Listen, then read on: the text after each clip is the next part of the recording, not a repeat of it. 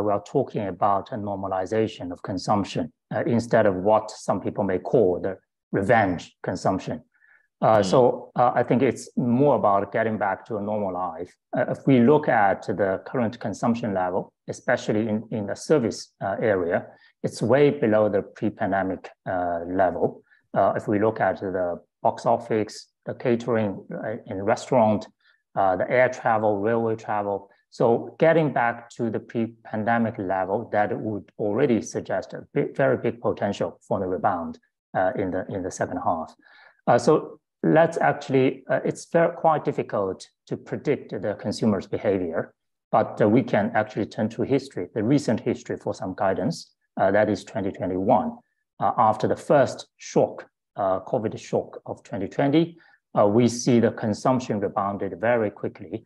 Uh, uh, in 2021, consumption grows more than 9%, contributing 5.3 percentage point to the 8.1% GDP growth. Uh, so we are actually uh, talking about uh, a normalization, and that I think with the uh, improving, I think job opportunities and income, that would be I think provide a, a lot of boost to the consumption.